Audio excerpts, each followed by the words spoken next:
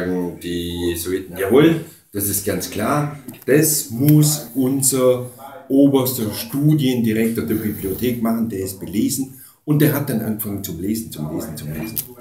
Die Franziskaner sagen, was sollen wir tun? Wir sind Brüder des Volkes, wir wissen, wie man dem Volk helfen muss, was sollen wir tun? Also gut, was sollen wir tun? Wir wissen es nicht, wir ziehen Stäbchen.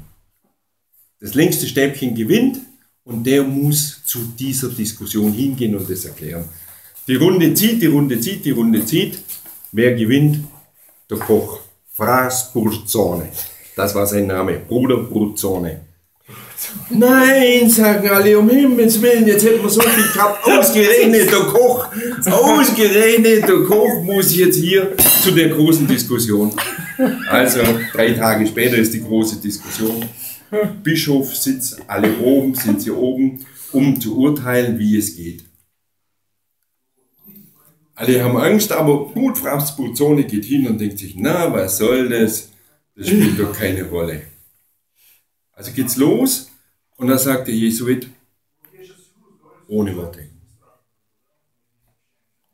Frau Spuzone, sitzt der Frasbolzone gegenüber und sagt, und dann sagt der Jesuit, okay, alles klar, ich habe verloren. Niemand kapiert keiner weiß wieso. Die Jesuiten haben die Tränen nahe, weil sie haben sich als Sieger gesehen und die Franziskaner klatschen und schlagen ein Kopf und freuen sich wie so. Danach geht die große Diskussion los was ist passiert? Sagt der Jesuit, ich habe gesagt, es gibt nur einen Gott. Sagt der Fras Zone, und ich habe gedacht, der guckt mich mit einem Auge an, ich gucke dich mit zwei Augen an.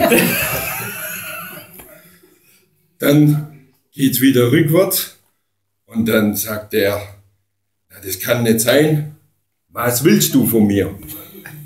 Das heißt auf Italienisch, was willst du von mir?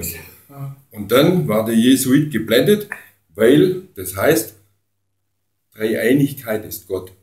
Und damit hat der Jesuit verloren und der Franzone gewonnen und alles war klar. Du, wir haben gelacht. Wir haben gelacht an dem Abend. Es war der Hit.